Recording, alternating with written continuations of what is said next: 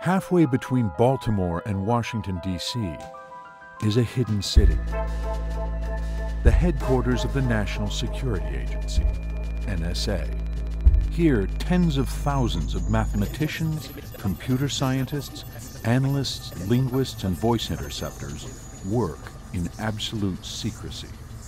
For those in the know, the joke was always that NSA stood for no such agency. For those on the inside, the joke was that NSA stood for never say anything.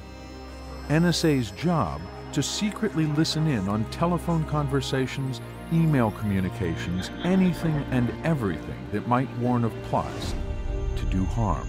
The scope of what happens at NSA is mind boggling. I don't think the average person can even begin to conceive of the staggering depth and breadth of what they have to do. But was NSA doing its job before the 9 11 attacks? It's a question that has never been thoroughly investigated. None of this information that we're speaking about this evening is in the 9 11 Commission report. They simply ignored all of it.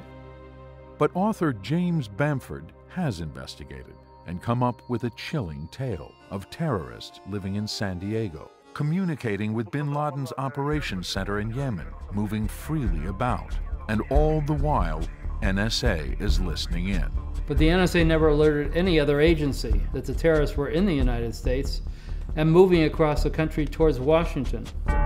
Since the 9 11 attacks, NSA's role has grown even bigger, along with its license to listen in on Americans here and abroad. It was incredibly uncomfortable to be listening to private personal conversations of Americans, and it's almost like going through and finding somebody's diary. But is this flood of information making America any safer?